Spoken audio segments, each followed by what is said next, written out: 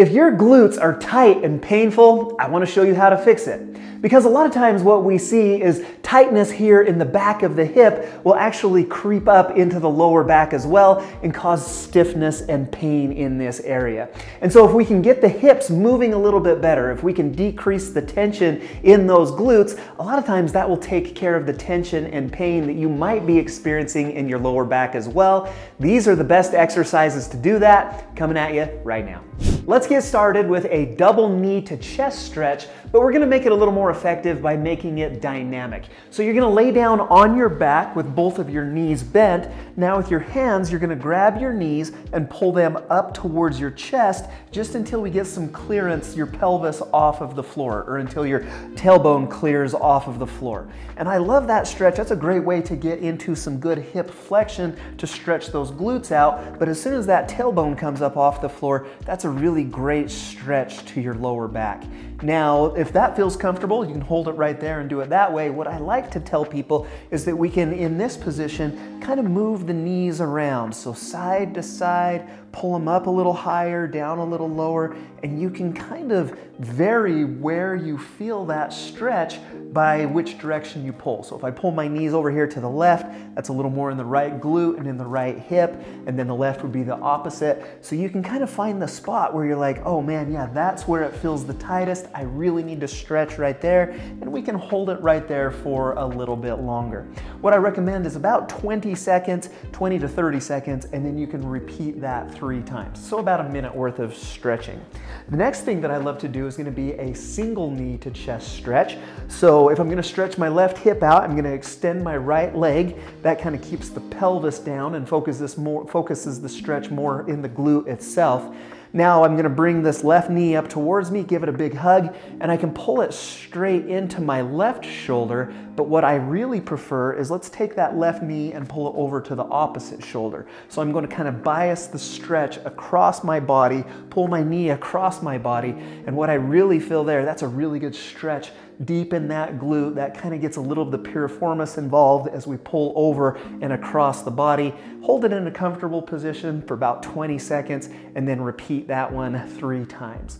Now the next stretch is for that piriformis muscle. This is one of your little deep hip rotators. It sits deep to your hip, but when it gets tight, man, that can cause a lot of pain and discomfort back there. This is how we stretch it out. Um, if I was gonna stretch my right piriformis, I'm gonna lay on my back with both knees bent. I'm going to cross my right leg over my left knee. Now with both of my hands, I'm going to grab behind my left knee and then pull that left knee up and towards my chest, just until I get a good, comfortable stretch right in that right deep hip area. Same thing, 20 seconds, three times is a great number to shoot for. Um, now I realize that um, a lot of times it's not convenient to lay down on the ground to do these stretches. So if you're at work, if you've got some tightness in the glutes, you can also do that stretch seated in a chair as well. What I would do is just cross the right leg over the left. Now in this position, we can do a couple of things. I can fold forward and if I fold forward, that introduces a little more rotation in my hip.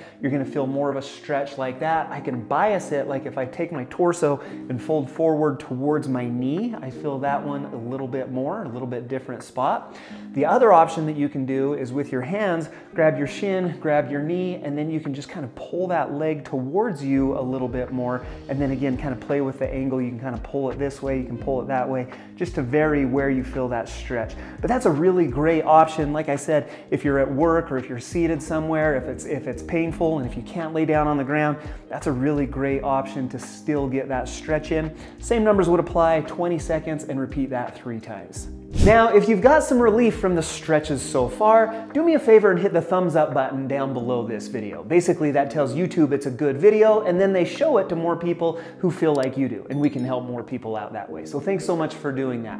Now, stretching is a great way to eliminate tightness, but a lot of times tightness in the back of the hips is caused by weakness. And so if we want tightness to stay away, we do need to introduce some strengthening. Here are three of my favorite exercises to do that. The first one's gonna be a clamshell. So you're gonna lay down on your side, both knees bent with the tight hip up. And so this is gonna work my right hip. If it's tight in both hips, obviously we're gonna do this on both sides.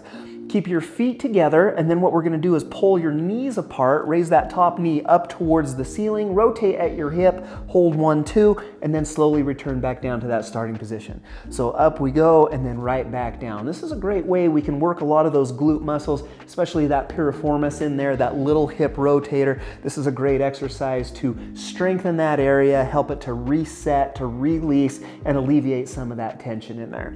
And usually people can tolerate a few more reps on this, 15 to 20 reps three times on each side is a good number to shoot for.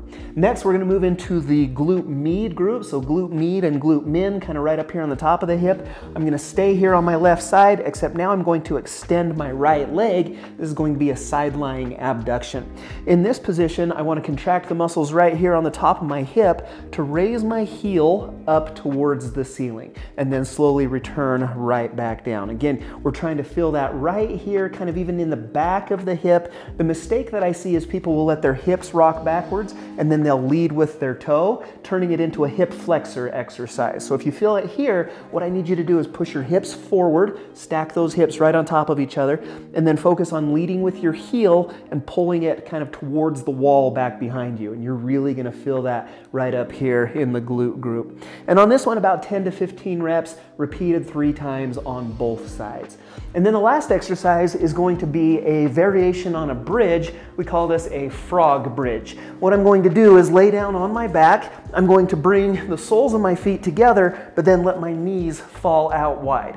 And so we get into this kind of abducted, externally rotated position. Now what I'm gonna do is fire these glutes, contract the glute muscles, and raise those up towards the ceiling, hold one, two, and then come right back down. It's just a little bit different variation on a bridge that causes those glute muscles to contract just a little harder as we're up at the top. We can kind of get this rotated position and we can enhance that contraction right up there at the top. And most people are really tolerant towards this one as well. 15 to 20 reps repeated three times is a great number to shoot for. If you want more help with your tight hips, check out this video right here. Subscribe to Tone and Tighten by hitting the circle right here. Hope this helps. Hope to see you again soon.